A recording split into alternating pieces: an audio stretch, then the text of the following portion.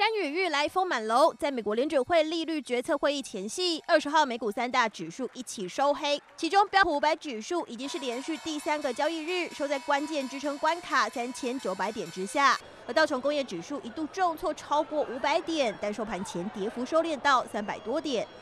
Essentially, what Jerome Powell or who you know what, what Jerome Powell will do or say is essentially in square in the focus right now, and yields are globally are running as a result. higher。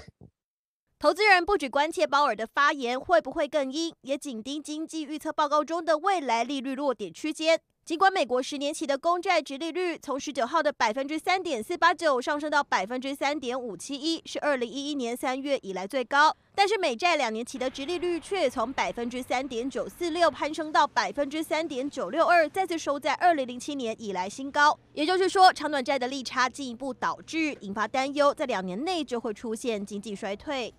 We believe that 75 is already baked in. We believe that the markets already anticipated that. Uh, we don't believe that the 100 basis points is uh, prudent at this time, simply because if you take the uh, rate hikes that we've started essentially only in March, uh, we're we're close to pushing 400 basis points between now and year end if the Fed continues. 高盛预测，美国联准会本周将升息三码，接着在十一月、十二月再各升息两码，二零二三年升息一码，并且在二零二四年降息一次。然而，经济陷入衰退已经是警报声四起。 其中，被封为“末日博士”的纽约大学经济学教授罗比尼预测，美国乃至于全球都可能在今年底发生漫长而惨烈的经济衰退，甚至可能持续到二零二三年全年。而全球最大避险基金桥水的创办人达里欧也表示，如果联准会升息到百分之四以上，就是美股可能崩跌两成，经济衰退也很可能发生。